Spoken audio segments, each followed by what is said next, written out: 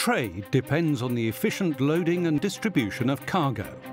However, for tankers, it is often necessary to discharge to smaller vessels both at sea and within a port. This process called ship-to-ship -ship transfer, or STS, is common practice. But as in any operation involving several vessels and often dangerous cargo, the risk is high and there is no room for error. This two-part series offers a guide to this essential but challenging operation.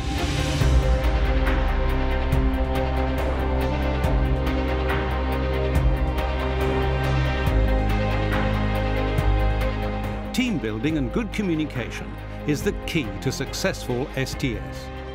Several vessels, agents and shore facilities need to have a plan they all understand. A standard set of checklists must be used to provide a structure for the operational plan.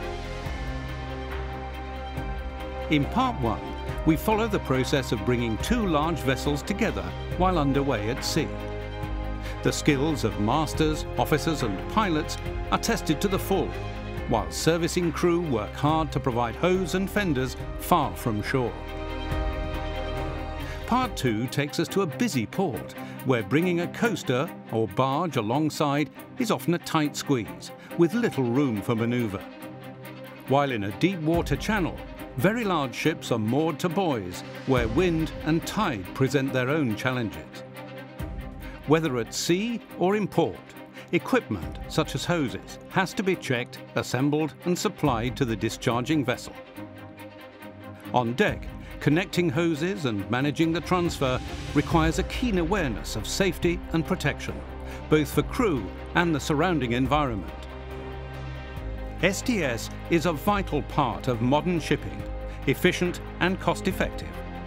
But it's a complex operation and a mistake could be catastrophic. That's why planning, safety and teamwork are key.